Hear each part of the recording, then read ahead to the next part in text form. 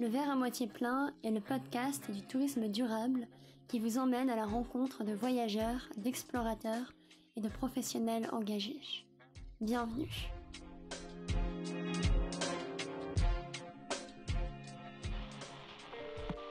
Bonjour à toutes et à tous, je suis ravie de vous retrouver pour ce nouvel épisode du verre à moitié plein. Il y a quelques mois, je recevais derrière mon micro Eleanor Luna, une influenceuse survie et micro-aventure. Aujourd'hui, dans la même lignée, mais cette fois pour parler montagne, randonnée et aventure en solo, j'ai l'honneur de recevoir une autre célébrité des réseaux sociaux, celle qui partage ses aventures dans les montagnes françaises à ses 150 000 abonnés, Sarah Hiking. Cet épisode sera donc aussi l'occasion de vous partager des conseils pour préparer des randonnées, pour partir seul, avec un chien. On parlera aussi évidemment de tourisme durable, afin de changer de regard sur la montagne, vers la contemplation des paysages, la randonnée, la lenteur. Bref, plein de sujets qui, je l'espère, vous motiveront à enfiler vos chaussures de rando et à partir explorer nos belles montagnes. Sur ce, préparez votre carnet et votre stylo pour prendre des notes et place à l'interview. Bonjour Sarah et bienvenue sur le podcast euh, Le verre à moitié plein et surtout merci beaucoup d'avoir accepté mon invitation. Euh, bonjour, oui. nous sommes en décembre 2022 euh, quand nous enregistrons cet épisode et tu as à ce jour presque 135 000 abonnés sur TikTok, 25 000 sur Instagram. Donc c'est vraiment beaucoup, bravo. Merci. Sur tes réseaux, tu pousses chaque jour tes abonnés à partir en randonnée, en trek, principalement en France. On peut donc te caractériser euh, d'influenceuse, mais pas que, puisque tu as aussi également lancé il y a quelques mois ta marque de vêtements d'extérieur euh, qui s'appelle euh, From.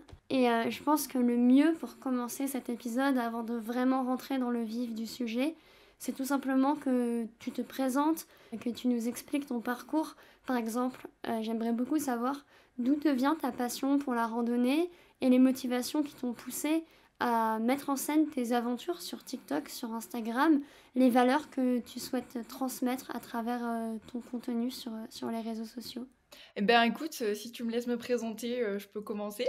Alors, moi, c'est Sarah. On me connaît sur les réseaux sous le nom de Sarah Hiking. J'ai choisi ce pseudo vraiment vite fait un jour en me disant, OK, randonnée, hiking, ça passe.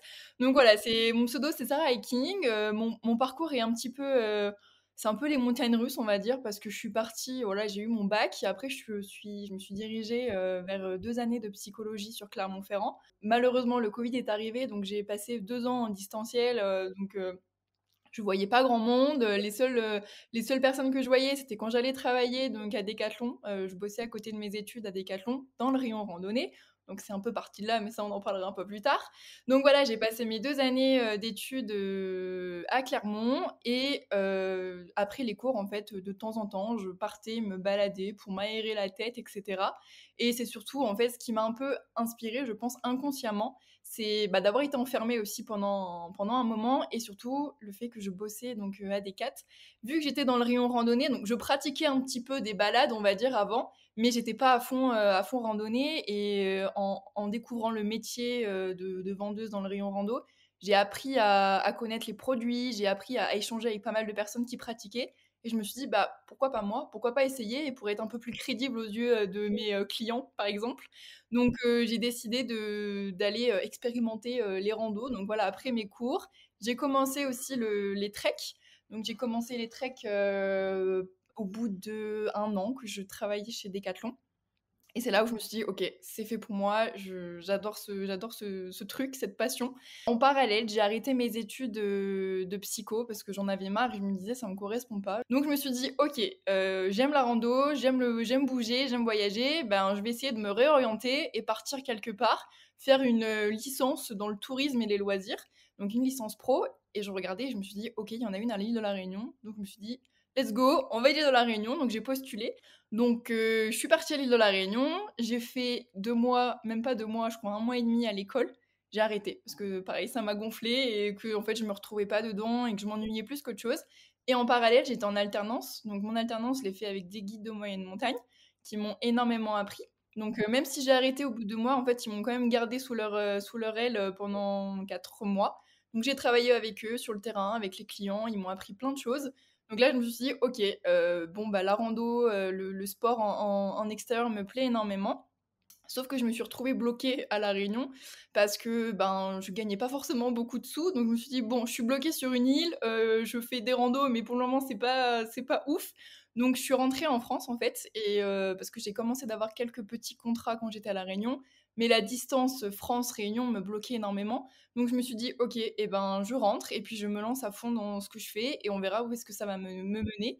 Donc aujourd'hui, j'ai arrêté les études j'ai plus du tout, euh, j'ai pas de diplôme, on va dire, mais ça m'empêche pas de vivre ma vie et de, de, pouvoir travailler euh, à mon compte. Donc voilà. Et donc tu vis maintenant totalement de tes réseaux euh, Sarah Hiking Ouais, alors on peut dire que je vis, pour le moment, je commence à en vivre. bon, c'est très aléatoire comme domaine parce que bah, ça dépend des mois, etc. Je suis créatrice de contenu en fait et je travaille avec des marques. Alors là, c'est le petit, la petite anecdote. Pendant que je travaillais à Decathlon euh, à Vichy, j'ai été contactée pour mon premier contrat par Decathlon France. Donc en fait, mes premières vidéos que j'ai vendues, c'était euh, mon contrat avec Decathlon France. Et aujourd'hui, ça va faire euh, un an et demi ou deux ans que je travaille toujours avec eux. Et voilà, donc en fait, je fais des vidéos promotionnelles ou des vidéos, euh, beaucoup de conseils, de découvertes de paysages, d'endroits que je vends aux marques, donc notamment Decathlon. J'ai travaillé aussi avec Columbia, euh, j'ai, bossé avec des offices de tourisme. Donc bref, voilà, je fais des vidéos pour les réseaux sociaux des marques et à côté, ben, j'ai mon mes réseaux à moi qui me rapportent un petit peu de sous quand je fais des, euh, des collaborations avec d'autres marques, des offices. Voilà, c'est toujours dans ce même domaine, on va dire. Donc j'ai mes deux casquettes, casquette créatrice de contenu, casquette influenceuse. Et les deux, aujourd'hui, font que j'arrive à pouvoir euh, me tirer un petit salaire et essayer de vivre comme tout le monde. Et euh, c'est fou parce que ça fait pas si longtemps que ça que tu as commencé, ça fait deux ans et demi à peu près. Ouais, à, peine. Euh, j'ai commencé réellement, je faisais le calcul tout à l'heure dans ma tête, ça fait euh, à peu près ouais, un an et demi parce que mon premier contrat c'était en, en avril 2021. Donc euh, voilà, ça fait à peu près un an et demi. Et la rando, j'en fais depuis ouais, mes 19 ans. Donc ça, ouais, ça va faire deux ans. Et entre les premiers contenus que tu postes sur les réseaux sociaux et le premier contrat, qui vient un peu marquer ta professionnalisation, il se passe combien de temps à peu près? Euh, on va dire que j'ai commencé à poster euh, mes aventures sur les réseaux en octobre ou novembre 2020. Donc on va dire euh, même pas six mois après. Six mois après, j'ai eu mon premier contrat et c'est là où je me suis dit, bon, bah, ça se trouve, ça peut marcher et il y a quelque chose à creuser dans ce domaine. Comment tu expliques un, succès aussi rapidement sur les réseaux alors que maintenant euh, on dit tout le temps que bah, c'est un peu saturé le monde de l'influence, enfin, c'est ce qu'on pourrait penser. Et toi donc en six mois ça, ça a réussi à fonctionner. Comment tu peux expliquer ça? Bah, en fait, je pense que, enfin, je pense, euh, sur TikTok, à l'époque, j'étais, on va dire, je crois, la première à, lancer des, vidéos, à faire des conseils et faire du trek, et de donner, voilà, des tutos, de montrer un peu mon quotidien euh, en tant que fille euh, jeune, toute seule, ou même des fois accompagnée en, en, trek, en rando. Et ça a vachement plu, et c'était pas à la mode à l'époque, enfin, c'était à la mode, mais beaucoup moins montré sur les réseaux. Et voilà, j'ai été la première, on va dire, à vraiment mettre mes vidéos et ça a plu. Et je me rappelle, mes, premières vidéos ont, cartonné. Je faisais 1 million, 500 000 vues. J'avais vraiment des, vidéos qui marchaient énormément. Ce qui fait que ça s'est monté très, très vite. Et après, bah forcément, c'est devenu à la mode parce que ben, j'ai un peu donné envie à tout le monde, etc. Et au final, bah, maintenant, beaucoup en font, beaucoup sont dans mon domaine. Et voilà, c'est pour ça qu'aujourd'hui, on peut dire que c'est un peu saturé et qu'il y a beaucoup de monde. Mm, mais c'est ouais, assez fou parce que j'avais pas l'idée, enfin le souvenir que avant à peu près le Covid, il, y avait des influenceurs euh, randonnée. Euh, ça avait même plutôt une connotation, euh, la randonnée, de quelque chose d'ennuyant, pas vraiment pour les jeunes. Mm, complètement. Et, et, là, ça a totalement changé. Je vois sur, sur Instagram, je vois quasiment plus que du contenu de personnes qui partagent des idées de rando à la montagne, des beaux lacs, des rivières, des cascades. Mm. C'est vrai qu'aujourd'hui, maintenant, tout le monde fait un peu pareil. Euh, on va dire que j'ai un peu incité les gens aussi à le faire et au final, bah, ça a fait effet boule de neige et euh, du coup, en l'espace d'un an, ça, un an et demi, ça a complètement euh, chamboulé le monde des réseaux, on va dire. Et c'est vrai que maintenant, aujourd'hui, on voit que de ça. Donc, donc voilà. Bravo à toi, tu as réussi à casser un peu des, stéréotypes sur une pratique c'est quand même assez fort. Et si on continue à parler d'influence, globalement, qui sont les personnes qui te suivent? Est-ce que c'est que des jeunes, comme on pourrait penser vu que tu es sur TikTok? C'est vraiment un cliché. Hein. est-ce que c'est que des passionnés de randonnée ou est-ce que tu arrives à toucher euh, plusieurs tranches de, personnes Alors, bah, à ma grande surprise, je pensais à l'époque que c'était des jeunes, parce que c'est vrai qu'on dit que TikTok, c'est le réseau social euh, des, jeunes, mais au final, euh, non, pas du tout. Les jeunes, on va dire que si je prends mes statistiques sur Instagram, parce que je, me doute qu'Instagram et TikTok, c'est à peu près la même chose, on va dire, et au final, la population que je touche, ce sont des personnes majoritairement qui ont entre 25 et 35. Et on va dire Ouais, moitié 18-25 et 25-35. Parce que dans, quand je vois mes commentaires, euh, ce sont des gens qui ont tous à peu près 30 ans, 40 ans, bon, des fois un peu plus jeunes. Et je pense que dans ma communauté, j'ai forcément des gens qui sont passionnés, mais beaucoup de personnes qui sont, qui sont novices, on va dire, et qui débutent. Et euh, qui, donc, du coup, forcément, je les inspire et veulent se mettre à la rando petit à petit. Donc, j'ai un peu de tout, on va dire. Et tu as déjà eu des retours de personnes qui t'ont remercié parce que tu leur as fait découvrir la randonnée ou le trek, parce que tu leur as montré qu'il existait euh, des coins absolument magnifiques euh, juste à côté de chez eux? Ouais, carrément, je reçois presque tous les jours des messages où des gens euh, sont bienveillants, me disent ben merci, tu nous inspires, grâce à toi je me suis lancée, j'ai fait mon premier bivouac, j'ai fait ma première rando toute seule, je suis partie quelques jours voyager, voilà, donc ouais, franchement, je reçois pas mal de messages et c'est vraiment cool de pouvoir me dire que j'inspire des gens, même si j'ai que 21 ans. Donc c'est chouette, je trouve ça vraiment, vraiment sympa. Et, d'ailleurs, là, on a évoqué plusieurs termes depuis le début de, l'interview. On a parlé de randonnée, de trek, de bivouac. Est-ce que tu pourrais nous expliquer un peu la différence entre ces termes? Parce qu'il y a peut-être des personnes qui ne savent pas forcément. Ouais, oui, complètement. C'est vrai que souvent on, me dit, mais ça veut dire quoi, trek, etc. Alors on va partir du plus simple. La rando, c'est on part le matin avec son sac, on rentre chez soi le soir. C'est une balade qui peut faire 2 heures, 3 heures, 4 heures. Donc du moment que tu rentres chez toi, c'est une rando. Après, quand on parle de trek, c'est une randonnée sur plusieurs jours. Donc, euh, tu pars en itinérance, ça peut être deux jours, trois jours, voire plus, une semaine, 15 jours, etc. Et en fait, tu ne rentres pas chez toi et tu peux soit dormir en refuge, par exemple, ou dormir en bivouac. Donc quand on dit dormir en bivouac, c'est dormir sous tente. Donc en fait, tu prends un trek, ça met le, tu prends ton sac à dos, ta tente, tu dors dehors en bivouac et après tu rentres. Donc voilà, c'est vraiment le, l'itinérance, le, l'itinérance sur plusieurs jours. Et est-ce que c'est forcément à la montagne? Non, pas forcément. Ça peut être n'importe où. Ça peut être euh, comme le, les GR, comme le chemin de Compostelle ou de Stevenson. Bah, c'est des, des, chemins qui traversent des villes, qui traversent des, des villages et des campagnes. Donc non, c'est pas forcément que en montagne. Après, la montagne est un peu plus propice, étant donné qu'il y a un peu moins de monde, que le terrain s'y prête pour poser une tente, parce qu'on ne va pas poser sa tente euh, en plein village ou dans, une ville, bien évidemment. Mais, voilà, ça peut se faire vraiment partout, et un peu dans chaque département d'ailleurs, euh, on, on, peut, faire des, itinéraires partout. Non, j'aimerais qu'on parle euh, d'un autre aspect vraiment important dans les choses que, que tu partages, c'est que tu pars souvent euh, seul ou avec ton chien euh, aussi que tu as récemment adopté. Il faut oser partir seul, surtout quand on est une fille. Pourquoi est-ce que tu as décidé la première fois de partir seul Qu'est-ce qui te plaît? Qu'est-ce que ça t'apporte? Bah, alors déjà, je suis partie seule la première fois parce que, étant donné que j'étais en psycho, j'allais pas forcément à tous les cours et que je m'ennuyais, je me suis dit, bon, bah, de toute manière, je peux pas partir avec mes copines ou mes copains. Donc, si je veux aller me balader, il eh ben, faut que je me mette un coup de pied aux fesses et que j'aille toute seule. Donc je suis partie toute seule et en fait c'est devenu un peu comme une addiction parce que bah, le fait de se retrouver seule dans, dans, une, dans, un, grand dans un grand espace, et bah, en fait on se sent bien, on se, sent, on se retrouve avec soi-même entre guillemets et on apprend à se connaître, à, tester nos limites, voir de, de, quoi on est capable, qu'est-ce qui nous fait peur, qu'est-ce qu'au contraire en fait on se dit oh ben, je, pensais avoir peur et au final pas du tout. Et puis c'est vraiment, c'est vraiment ressourçant et c'est vrai que d'être tout seul, alors ça a des avantages et des inconvénients. Hein. Aujourd'hui, je, je, pars à la moitié seul, à moitié avec des gens et en fait les deux ont des avantages. Quand on est seul, vraiment, on admire par exemple le, le paysage, ou on se pose plein de questions, chose qu'on ne ferait pas si on est avec quelqu'un parce qu'on est vraiment à soi-même en fait. On se, moi je m'assois souvent euh, sur un rocher et là je fais le point sur ma vie, sur mes, les jours qui sont passés, sur le futur, sur l'avenir, etc. Alors que quand on est deux, trois, et ben en fait on, c'est plus du partage. Quand on est seul, c'est le partage avec soi-même et quand on est plusieurs, et ben vraiment on peut discuter, partager, échanger, chose qu'on ne retrouve pas quand on est tout seul. Donc voilà, les deux sont vraiment cool. Et puis bah qu'on soit une fille ou un garçon, en fait partir seul. Euh, bah, peu importe quoi. Au contraire, d'être une fille, ça, ça ne devrait pas avoir de, de soucis. Et aujourd'hui, je croise de plus en plus de filles toutes seules et ça me, ça me fait vraiment plaisir et ça me réchauffe le cœur. On parlait donc de voyager seule, mais récemment tu as adopté un petit chien, donc tu es à moitié seule.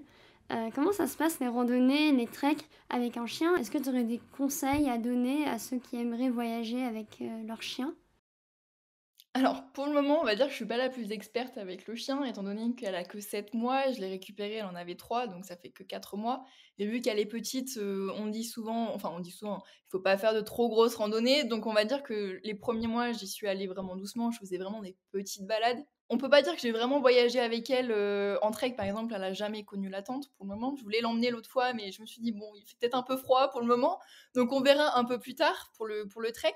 Après, cependant, je suis partie 15 jours en Espagne avec elle, avec elle et mon, et mon chéri. Donc on est parti en van. Donc elle a elle a testé l'expérience van life et au final ben c'est génial de pouvoir partir avec son animal alors forcément il y a des inconvénients parce qu'il faut s'adapter à son chien, on peut pas aller partout avec un chien, euh, il faut prévoir voilà des, des, balades euh, qui sont autorisées pour les chiens, euh, il faut prévoir forcément plus de choses, mais pour moi il y a 95% de positifs et on va dire 5% de négatifs. Et dans le négatif, c'est à la limite quand elle va avec ses pattes toute sales, elle va rentrer toute mouillée et se mettre sur les draps, par exemple, ça c'est le côté négatif, mais sinon non, il y a franchement, voyager avec un animal, c'est génial. Et on se sent, on est seul, mais sans vraiment être seul, parce qu'au final, on sait qu'on a une présence avec nous, donc c'est encore plus rassurant, encore plus cool, quoi. C'est ça, ce que j'allais dire, ça, c'est un côté rassurant quand même. Ouais, bon après, ça dépend quel chien. Hein. moi, le mien, euh, la mienne, je peux pas dire que c'est rassurant parce qu'elle aime tout le monde et que et qu'elle aboie jamais et qu'elle est vraiment euh, hyper sereine. Mais sinon, en soi, oui, d'avoir un chien, c'est rassurant. On se sent, on se sent mieux. maintenant, on va changer un peu de sujet. Sur ce podcast, on parle de tourisme durable. Euh, tes aventures, elles sont principalement en France, euh, en montagne. Euh, la montagne aujourd'hui, en France, on l'associe au ski, au sport d'hiver. Mais en même temps, la montagne souffre économiquement donc de la saisonnalité. Et avec le dérèglement climatique, le ski et les sports d'hiver sont de plus en plus menacés. Et donc on dit qu'il est temps de changer un petit peu notre regard sur la montagne, de montrer qu'on peut pratiquer la montagne au-delà des sports d'hiver et toute l'année. Et toi, donc, c'est ce que tu contribues à faire euh, sur tes réseaux. Est-ce que c'est un sujet dont tu parles sur tes réseaux? Comment est-ce que tu intègres les enjeux du tourisme durable euh, dans ton contenu et dans tes aventures? Déjà, toutes mes aventures, pratiquement tout ce que je partage, c'est en France. Jamais incité les gens à partir voyager très loin. Après, je suis déjà partie en Suisse, en Espagne, en Italie, voilà, dans les pays frontaliers. Et, et je, je le dis pas directement, mais je, voilà, je pense que les gens ils comprennent derrière euh, mon, partage, euh, parce que je pourrais partir à l'étranger. honnêtement, je pourrais dire ok, bon bah là pendant 15 jours je m'en vais, chose que je je fais pas. Mais je, je privilégie ouais, le, slow tourisme. Et puis quand je m'en vais à un endroit, je, je, voyage, je, reste dans le lieu plusieurs euh, jours, plusieurs semaines. Et j'apprends vraiment à découvrir l'endroit où je vais. Donc inconsciemment, bah, en fait, je, partage ce fameux euh, tourisme éco-responsable et j'en suis, j'en suis fière.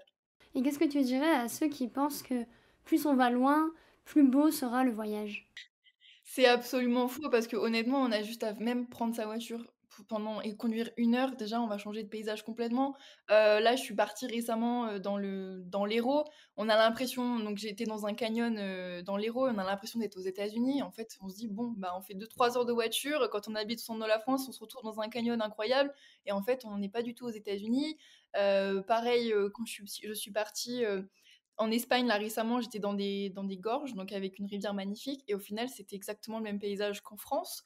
On a des endroits en France ou dans les pays vraiment frontaliers très proches qui sont vraiment très similaires à tous les pays du monde. Donc en fait, euh, bah, c'est bien mieux de voyager euh, dans notre territoire à nous que de prendre l'avion et de partir explorer, euh, explorer le monde entier. Alors forcément que c'est de, voyager dans le monde entier, c'est quelque chose de cool, mais au final, on n'a pas, pas besoin d'aller à 10 000 km pour voir des jolies choses. C'est mon, mon, point de vue. Que je partage. Et c'était quel canyon que tu as visité dans l'Hérault?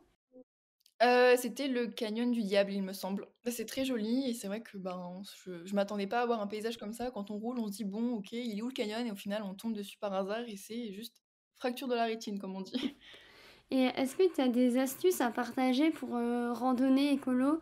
Euh, dans le sens, randonner en limitant au maximum son impact? Par exemple, comment tu gères les déchets, quand tu pars plusieurs jours sur un trek. Alors, bah, c'est simple, honnêtement, j'ai toujours mon petit sac, poubelle dans mon sac, dans mon sac à dos. Et puis, bah, déjà, je j'essaie de limiter au maximum les déchets et pas prendre de plastique et cetera. Et puis, bah, c'est tout bête, en fait, on prend nos affaires qu'on a consommées, qu'on a mangées, je vois beaucoup de gens qui font, leurs besoins dans la nature et qui laissent, des monticules de papier. Bah, en fait, c'est tout simple, on ramasse on ramasse, en fait, on ramasse tout ce qu'on a consommé ou qu'on a, voilà, qu'on a utilisé on met dans un sac plastique, on le ferme et on le jette dans une poubelle quand on rentre. C'est pas si compliqué que ça en fait. Et c'est vrai que ça c'est un peu, c'est un peu un sujet qui est délicat et je souvent je, je, m'énerve et que j'en ai j'en ai marre de voir des, des, déchets partout, etc. Et je me dis c'est pas bien compliqué de prendre un sac plastique et de laisser ces déchets dedans et de laisser aucune trace. Et ça c'est vraiment le, le, le, truc important quand on voyage, c'est le de, de ne laisser vraiment aucune trace de son passage. Et ça, euh, et ça c'est malheureusement, c'est pas acquis pour tout le monde, enfin pour pas grand monde d'ailleurs. Donc c'est un peu triste. Ouais, alors que c'est facile à faire. Comment on randonne aussi en, en, respectant par exemple les animaux et la flore? Est-ce qu'il y a des gestes à éviter euh, pour éviter de, de les perturber, de, de, détériorer la flore par exemple? Ben, déjà, il faut rester sur les sentiers. Donc, quand il y a des sentiers qui sont balisés, euh, ben, on s'amuse pas à aller à 100 mètres, 200 mètres au-dessus du sentier parce que y a la nature, voilà, ça abîme. Donc si on peut respecter ça, c'est déjà très bien. Après, au niveau des animaux, en théorie, c'est pas souvent, c'est pas souvent qu'on en croise. Ils viennent pas devant nos mains dire bon bonjour. On les aperçoit de loin et puis voilà, celui qui veut le voir de plus près, il achète des jumelles ou il prend un appareil photo pour le photographier. Et puis en général, les animaux sont un petit peu, ils sont comment dire peureux, donc ils vont pas venir forcément s'approcher. Et puis quelqu'un de de responsable ne va pas s'amuser à lui jeter des cailloux, à lui donner de la nourriture. On est chez eux en fait. Quand on voyage, quand on va en montagne, on est chez eux, donc on les respecte, on respecte leur environnement. Et puis bah on passe, on leur dit bonjour de loin et puis on continue notre chemin quoi. Maintenant, on va passer à, la partie euh, conseil pratique de l'épisode, donc la dernière partie de l'épisode. Donc c'est là que les auditeurs vont devoir euh, prendre des notes. Alors déjà, qu'est-ce que tu dirais à quelqu'un euh, qui a des a priori sur la randonnée pour le convaincre de se lancer Par exemple, si tu avais euh, trois conseils euh, à lui donner. Alors, quelqu'un qui n'a jamais fait de rando, qui est réticent, déjà, il faut qu'il prenne son temps. C'est-à-dire que quelqu'un qui n'a jamais fait de sport ou rando, euh, bah, faut pas qu'il parte sur une randonnée de 8 heures. Faut commencer déjà pour connaître les sensations, voir si ça plaît de marcher avec du dénivelé, étant donné que les terrains sont un petit peu accidentés aussi, il faut vraiment que ça puisse plaire. Donc il faut prendre son temps. Après, pour motiver quelqu'un, euh, tout dépend les centres d'intérêt des personnes, mais je sais que personnellement, ça me motive de voir un lac, de voir quelque chose de, joli. Et en fait, euh, des fois, quand les gens me disent oui, j'aime pas la randonnée, bah, je leur montre une photo d'une cascade ou d'un lac et je leur dis bah vous voyez ça, bah voilà, faut marcher une heure, mais quand vous arrivez au bout, vous êtes content, vous avez envie de, de redécouvrir d'autres endroits. Donc c'est un peu une sorte ouais, d'addiction et je pense qu'honnêtement, il y a peu de personnes qui, n'aiment pas la randonnée. Enfin, les gens aiment voir des jolies choses dans tous les cas. Après, il faut arriver à les motiver pour marcher un peu plus, parce qu'en général, les jolis coins euh, se méritent. Mais après, c'est une sorte de, balance, quoi. On sait qu'on c'est un peu dur, forcément, de marcher, d'arriver au sommet, mais quand on arrive en haut, on se dit, ok, bon, là, j'en ai chié, mais en fait, non, c'est incroyable. Et notre cerveau oublie tout, oublie la partie difficile et ne retient que le positif. Donc tout le monde pourrait vraiment se lancer dans la rando et puis, puis voilà, après c'est un choix, il y en a qui n'aiment pas le sport, et ce qui est respectable. Donc bon, la randonnée, c'est pas forcément pour eux. Mais tout le monde peut y arriver et tout le monde peut le faire. Ouais, c'est il faut avoir un but à, la, à la promenade en fait. Ouais, bah c'est ça. Moi, je sais que ça me motive. Alors, il y, en a qui n'ont pas besoin, besoin de but pour aller se balader. Moi, je sais que j'aime bien parce que c'est motivant déjà sur le psychologique. Et puis, en fait, on se donne vraiment le, petit défi en mode Bon, ok, là, on sait qu'on a 6 km avec 1000 mètres de dénivelé, mais à la fin, on sait qu'on va avoir un, lac incroyable, on va pouvoir se poser et, bronzer pendant 5 minutes, par exemple. Bah, c'est vraiment motivant et c'est ce qui nous permet de, nous booster. En tout cas, pour ma part, et je pense que pour 80% des personnes qui pratiquent la randonnée, c'est ça aussi. Et est-ce que tu pourrais nous donner tes trois astuces, on va dire, pour trouver le bon endroit où bivouaquer? Euh, bah alors, ça, moi, je sais que je, en général, les gens le font un peu euh, freestyle comme on dit, mais moi je sais que j'aime bien regarder mon itinéraire avant sur les cartes, euh, les cartes de rando en fait, et suivant euh, les courbes de dénivelé, suivant en fait, on, voit sur les cartes où est-ce qu'on peut potentiellement on peut mettre une tente parce qu'il faut que ce soit plat, il faut pas que ce soit sous une falaise, il faut pas que ce soit au bord d'un cours d'eau. Donc en général à l'avance j'essaye de, de, regarder sur les cartes. Et après c'est un peu comme bon, bon nous semble en fait, on marche et on voit un endroit qui est à peu près abrité du vent, qui est à peu près plat bon bah ok, on pose la tente et puis, et puis voilà, faut juste vérifier que ce, soit, ce ne soit pas un endroit dangereux, on va dire.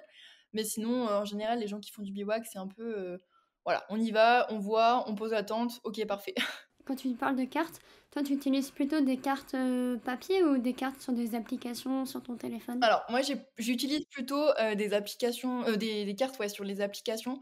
J'avoue que j'utilise des fois des, des cartes papier, mais voilà, aujourd'hui, c'est vrai qu'on a un peu toutes les infos avec les téléphones et les tracés. En fait, j'importe des tracés d'une application, donc en fait, je ne peux pas vraiment me perdre parce que j'ai mon tracé.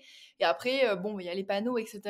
Et ça permet de voir hein, où est-ce qu'on se situe, ça permet de voir bah, quel dénivelé on a potentiellement fait sur les cartes. Il y a toujours le problème, oui, mais ta batterie, nanana. Je mets mon téléphone en mode avion, ce qui fait que bah, du coup, je, ne capte pas le réseau et puis bah, je m'en sers vraiment que pour l'application, pour les photos, etc. Et puis, j'ai toujours ma batterie externe au cas où pour rebrancher mon téléphone. Et aujourd'hui, j'ai jamais eu de souci à, ce niveau-là. Forcément qu'une carte papier, bah, c'est mieux. Mais bon, aujourd'hui, c'est vrai qu'on a des nouvelles technologies qui peuvent nous aider encore un peu plus. Donc, je, ne crache pas dessus et j'en suis la première utilisatrice. Et euh, tu as raison. Est-ce que euh, tu pourrais nous donner les coins de France où tu as préféré voyager, euh, enfin randonner, et on va dire ta, ta chaîne de montagne préférée en France?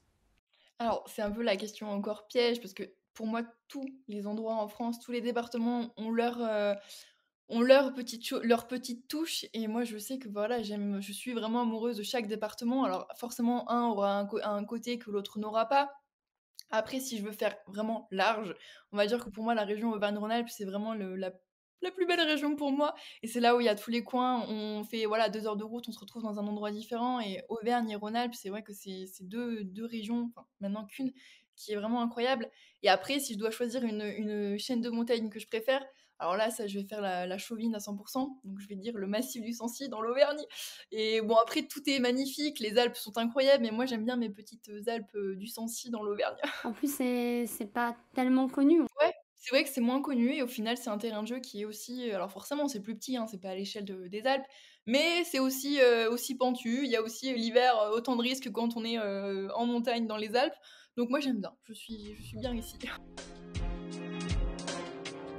Et on va terminer le podcast avec euh, la petite euh, tradition qu'on fait tout le temps, c'est le mot libre. Le moment où tu dis ce que tu veux, ça peut être euh, une galère ou une anecdote que tu aimerais raconter, un message que tu aimerais faire passer, voilà, ce que tu veux. Bah écoute, on va dire, pourquoi pas parler d'une galère, ça peut finir, ça peut clôturer le podcast avec un peu d'humour et un peu de, de rire. Euh, bah, par exemple, euh, pour la petite anecdote euh, rigolote, je suis partie, quand je suis partie pour la première fois toute seule en bivouac, du coup, avec ma tante, j'ai eu la bonne idée de me dire, ouais, en plein hiver, c'est une bonne idée, on va partir toute seule. Donc, je suis partie après les cours, j'ai installé ma tente. Et sauf qu'au final, j'étais à, à peu près une heure de marche de ma voiture, je suis quand même restée dans le secteur et au cas où qu'il m'arrive quelque chose, je me suis dit, au cas où je peux rentrer à pied. Sauf que du coup, il s'est mis à geler à 20h, il faisait déjà moins 4, et là, Problème, ma poche à eau s'est mise à fuir. Donc en fait, toute l'eau que j'avais dans, ma, poche à eau a coulé partout dans ma tente, sur mon duvet. Donc tout a gelé et tout était trempé. Donc là, je me suis retrouvée toute seule, euh, à la limite pas d'hypothermie, mais j'étais là en mode bon, ok, j'ai super froid, comment je fais? Euh, Et en fait, je me suis retrouvée en pleine nuit, donc vers 23h minuit, à remballer toutes mes affaires et ma tente, donc qui était complètement gelée, et moi avec, donc euh, j'ai tout foutu dans mon sac à l'arrache. Et je suis repartie pas fière avec ma frontale dans la forêt toute seule. Et du coup, bah, ça m'a quand même forgé parce que rentrer toute seule en pleine nuit quand on entend les bruits des animaux, bon, bah, on fait pas la maline. Et ça, c'est vraiment la petite anecdote. C'était ma première fois toute seule en bivouac et au final, bah, ça m'a bah, ça m'a forgé. Hein. Maintenant, j'ai plus vraiment peur. Donc, euh, donc voilà, c'est la petite anecdote et ça, ça rebondit sur le fait que ben voilà, il faut oser. Et puis, ben, qu'on soit une fille ou pas, ben, ça change rien. Voilà, il nous arrivera toujours des galères. Et au contraire, il faut ressortir plus fort de ces galères. Il faut pas avoir peur. Voilà, bon, moi, j'ai fait, il faut faire les choses intelligemment. C'est vrai que là, j'aurais peut-être pas dû partir en hiver. Mais au final, ça m'a appris plein de choses. Et aujourd'hui, je, grâce à cette expérience, et bah, j'ai appris voilà, vraiment plein de choses. Et maintenant, je suis, on peut dire, on peut pas dire que je suis experte, mais je m'y connais beaucoup plus. Et c'est en, avec les galères qu'on apprend et qu'on se, qu'on apprend à se connaître. Super. Merci beaucoup. Euh, et merci euh, encore d'avoir accepté euh, mon invitation. Je pensais derrière le micro du verre à moitié plein. J'ai appris plein de choses sur la randonnée, sur la, montagne, sur le trek. Et je pense que les auditeurs aussi. Donc vraiment, merci encore. Et eh ben, je t'en prie, ça m'a fait plaisir.